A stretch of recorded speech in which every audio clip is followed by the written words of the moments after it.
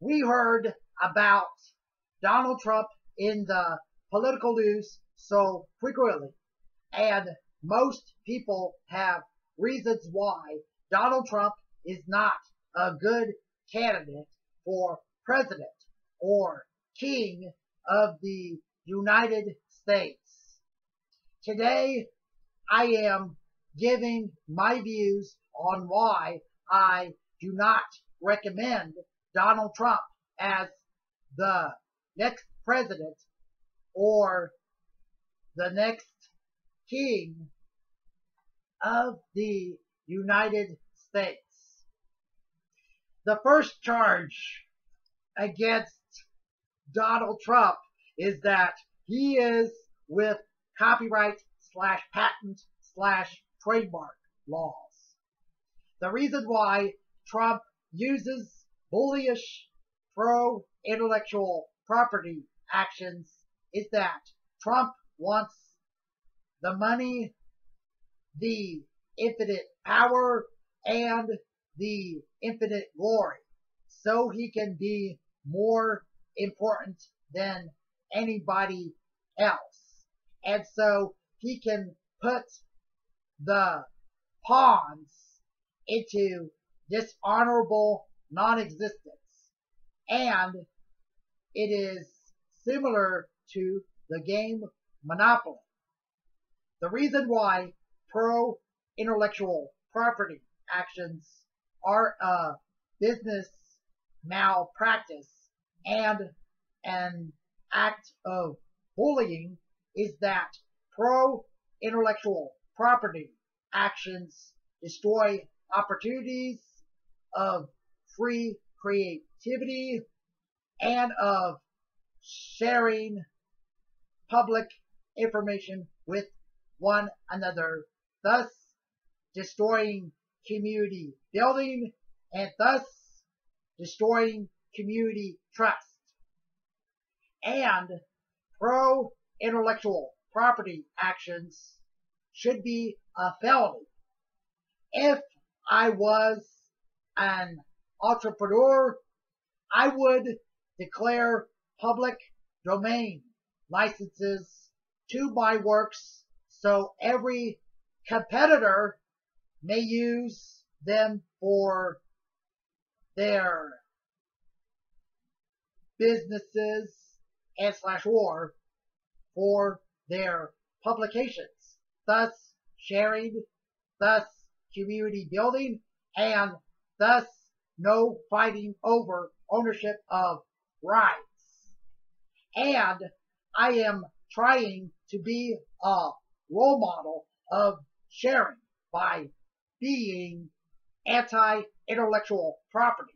So other people can be changed from being pro-intellectual property to being anti-intellectual property. The second charge against Donald Trump is that his products are overpriced. Who wants to buy Trump steaks, to buy Trump water, and to buy other Trump products for ridiculous overpriced prices? I would not buy those Trump products for ridiculous overpriced prices. I think that Trump is going to monopolize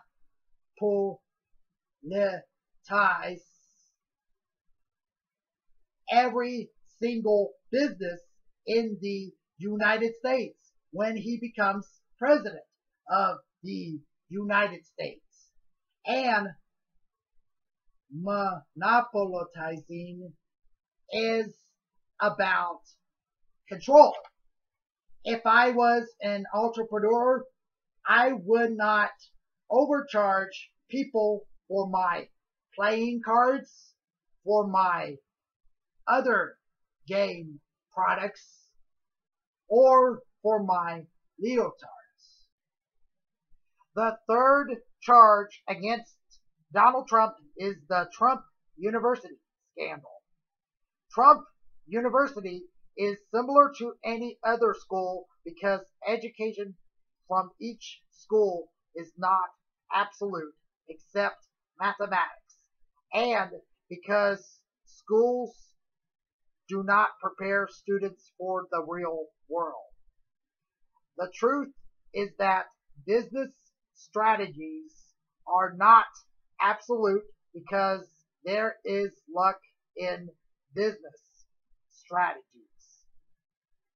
I believe that educators lie to the students about students' potentials and about the information that the students have been taught by going into the real world. When you go into the real world, the lessons that you learned during your studying can work against you. The fourth charge against Donald Trump is threats against the Mexicans and against other countries. I think that Trump will be enforcing forced suicide on the Mexicans by paying for the wall on the Mexican slash U.S. border and by not welcoming Mexicans into the United States with strict misery. Why do we have to respect ridiculous, hopeless authority that leads to our self-destruction? Trump is going to put tariffs on products outside of the United States so people who are outside of the United States will have to pay the tariff fees.